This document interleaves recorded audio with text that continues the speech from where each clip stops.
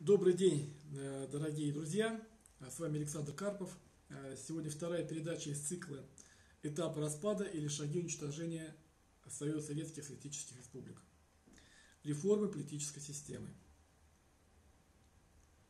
22 июня 1988 года э, по 1 июля 1988 года 19-я Всесоюзная конференция КПСС приняла резолюции о некоторых неотложных мерах по практическому осуществлению реформы политической системы страны.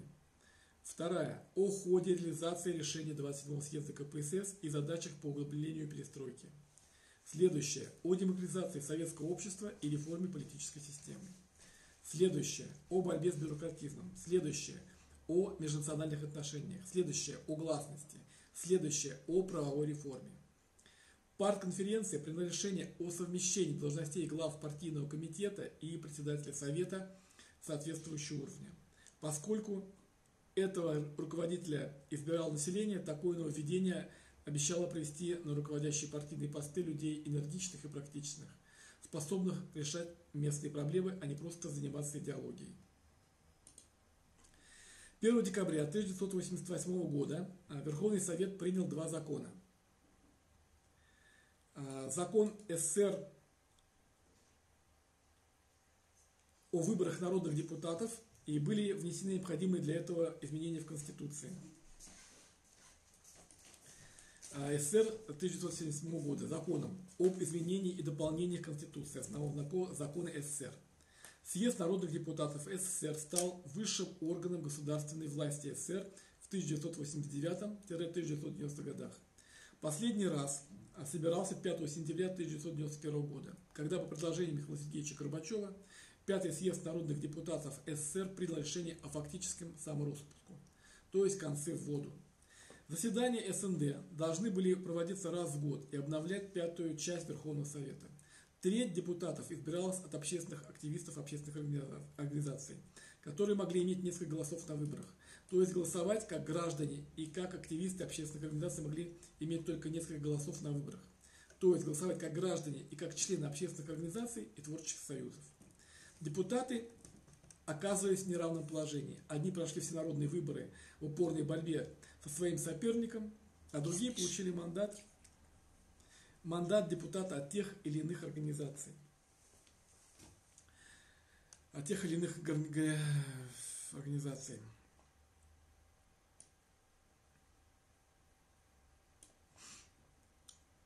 25 мая 1970 года по 1 сентября 1991 года съезд принимал законы СССР и постановление большинством голосов от общего числа народных депутатов СССР. Э, таким образом, в общее число депутатов 2249, как минимум третья часть, вливалась, вливалась своих людей. 24 э, августа 1988 года в Чемкенте, э, Казахская ССР, зарегистрирован первый СССР кооперативный банк – Название банка Союзбанк. Его основной капитал составил 1 миллион рублей.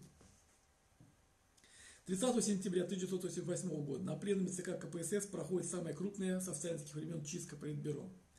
3 августа 1989 года закон СССР номер 319 дробь 1 о внесении изменений и дополнений к закону СССР о госпредприятиях и объединениях.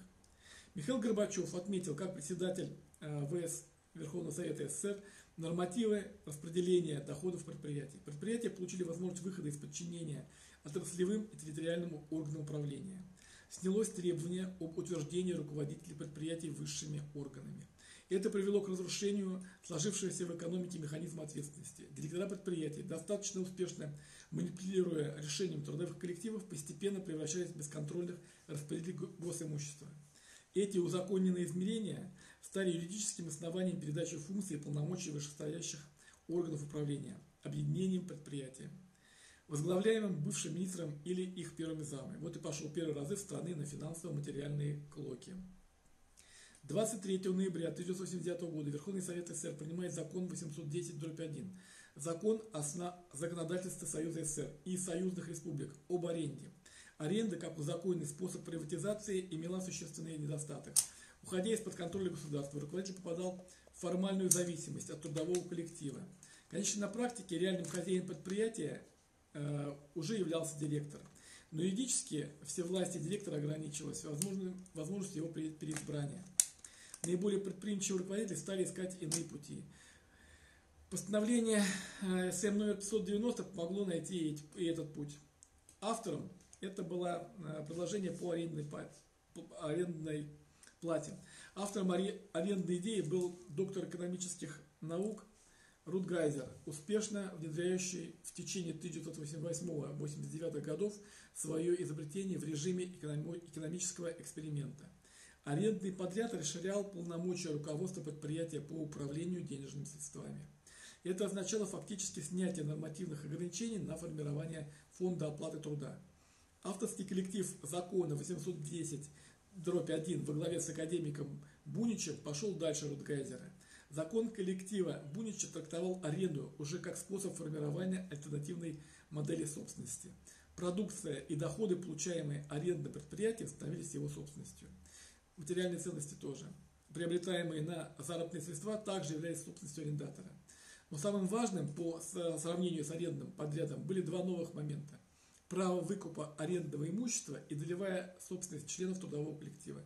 Начинается реальная приватизация средств производства – 6 марта 1990 года принят закон о собственности в СССР и с ним поправки Конституции СССР от 14 марта 1990 года. Было признано право собственности граждан и коллективных предприятий на средства производства, ценных бумаг и прочее. Понятие частной собственности все еще камуфлировалось под собственностью советских граждан, но зато было узаконено право собственника заключать договора с гражданами об использовании их труда при осуществлении принадлежащего ему права собственности – а это уже капиталист и наемный труд, труд батрака, от чего избавлялись 70 лет, к тому и вернулись. Это и есть вращение экономическому рабству. 14 марта 1990 года закон СССР номер 1360, дробь 1 об учреждении поста президента СССР и внесении изменений и дополнений в Конституцию, основной закон СССР, звучит целях обеспечения дальнейшего развития осуществляемых в стране глубоких политических и экономических преобразований, статья 10, Государство создает условия, необходимые для развития разнообразных форм собственности и обеспечивает равную их защиту. Статья 11. В собственности гражданина может находиться любое имущество потребительского и производственного назначения, приобретенное за счет трудовых доходов и по другим законным основаниям. Для введения крестьянского и личного подсобного хозяйства и других целей граждане вправе иметь земельные участки в пожизненном наследующем, наследуемом владении. Статья 127. Главой Советского государства Союза Советских Социалистических Республик является президент СССР. Статья 114. Право законодательной инициативы. А, значит, такой интересный перечень. Закон подписан председателем Верховного Совета СССР Михаилом, Михаилом Горбачевым, который уже занял учрежденный им пост. Названия в так называемых законах сохраняются советские, а по сути структура государства уже выстроена по капиталистической модели. 20 марта 1991 года был принят закон, по которому упразднялся Совет министров СССР и создавалось правительство нового типа – Кабинет министров СССР при президенте с более низким статусом и более узкими функциями, нежели традиционный Совмин и так далее и тому подобное. 4 июня 1990 года закон СССР номер 1529, дробь 1 о предприятиях в СССР. Цитата. Закон направлен на обеспечение самостоятельности предприятия, то есть разрываемые все союзные связи. Теперь каждое предприятие, ранее выстроенное в единую технологическую цепь, обязаны каждый перед вновь обрабатываемой продукцией покупать друг у друга. А денег на такие операции у предприятия уже нет. Вот вам уничтожение практически всей экономики страны. 19 июня 1990 года постановление Совета министров СССР 590, утвердившее положение об акционерных обществах и обществах с ограниченной ответственностью. Постановление вводило новые организационно-правовые формы предприятий АО, акционерное общество и ООО, общество э, с ограниченной ответственностью.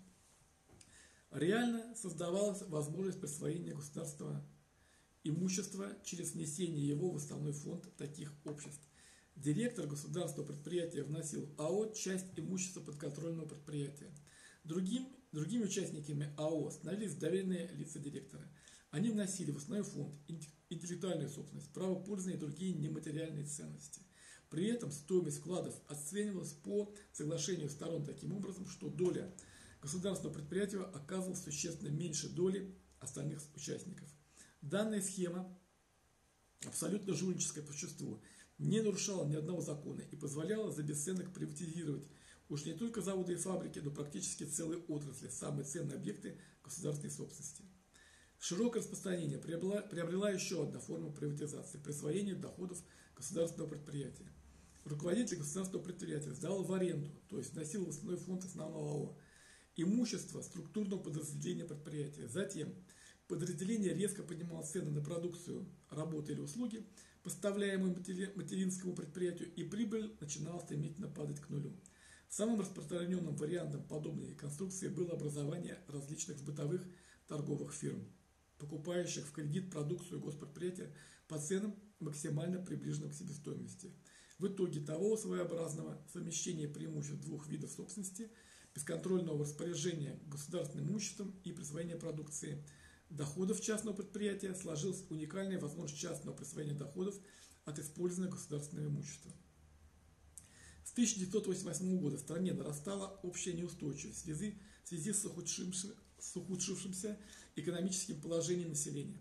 Изначально начатые по инициативе сверху во второй половине 1989 года перемены якобы выходят из-под контроля властей. Трудности в экономике перерастают в полномасштабный кризис. В 1989 году экономический рост резко замедляется, а в 1990-м сменяется падением. Достигает своего апогея хронический товарный дефицит. Пустые полки магазина становятся символом рубежа 1980-х-1990-х годов. А все эти существующие внутри страны товары продавались за пределами страны. Чтобы отвлечь народ от непонятных ему экономических нововведений, его потенциальную энергию направляли в русло межнациональных отношений. Появляются сепаратистские настроения на национальных окраинах страны. Вспыхивают первые межнациональные столкновения. Это Карабах. Январь 1990 года. Ввод советских войск в город Баку с целью ликвидации беспорядков на этнической почве и подавления политической оппозиции. Искусственно раздуваемые конфликты в республиках на фоне убитого единого сельского хозяйства и промышленности все теснее приводили к референдуму по запланированной отмене несовершенного социалистического уклада. Пока между цыковскими дворянами шел дележ а, с приватизацией общественного имущества, незримая рука, рука рынка поставила новообразных, новообразованных капиталистов под общий финансовый контроль. Все безналичные расчеты проходят теперь через корсчета подконтрольных ФРС. Олигархи после, после поняли, что они заложники иерархов планетарной финансовой системы с известным с 1913 года центром управления. И теперь все наворованные деньги управляющих под контролем из единого центра управления вне границ России. И в любой момент эти выведенные из страны миллиарды могут быть конфискованы в страны их нового пребывания. Следующий этап. Третий. Кража.